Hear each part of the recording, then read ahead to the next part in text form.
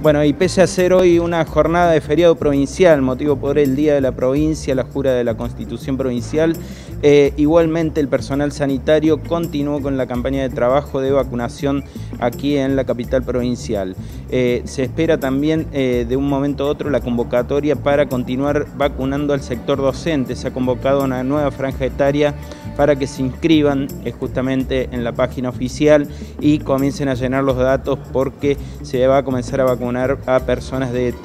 33 y 44 años del sistema educativo, docentes, para que avanzar un poco más, ¿no es cierto?, todo el alcance de vacunación hacia el sector eh, que dicta clases en las escuelas. Igualmente Info3 Noticias dialogó con eh, referentes de la campaña de vacunación, quienes nos dieron más precisiones al respecto y de cómo va a continuar justamente la aplicación de la vacuna contra el COVID-19 en los próximos días. Nosotros hoy decimos que el factor de riesgo es la edad y por eso hemos ampliado la convocatoria a los mayores de 50 años, a todos, porque además contamos con dosis para cubrir a esa población en la provincia.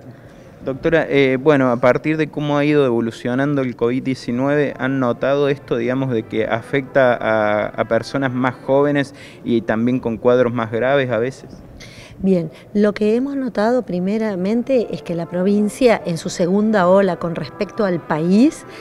es una ola mucho más leve, ¿sí? Y se encuentra lo que decimos a mesetada, es decir, no es que estamos en un incremento sostenido de casos, ¿sí? Que el sistema de salud está teniendo una buena capacidad para sostener a las personas que necesitan ser hospitalizadas y que todos los grupos de población que ya tenemos vacunados, si tienen un cuadro de enfermedad COVID es muchísimo más leve y no están siendo hospitalizados. Con lo cual concluimos en que sí, que el grupo, el grupo que hoy se interna o tiene posibilidades de complicación son un tanto más jóvenes.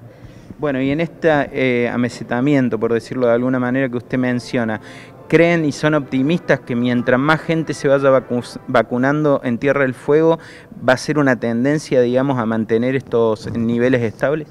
No es solamente la vacunación, lo que hace que estemos en niveles estables, es, el comportamiento ciudadano, es el hecho de que los ciudadanos de Tierra del Fuego han tomado conciencia en líneas generales y saben mantener su distancia social, utilizan el barbijo de correctamente colocado y, todas, y ponen en práctica las medidas que hacen que estemos en este estatus, no es simplemente la vacuna.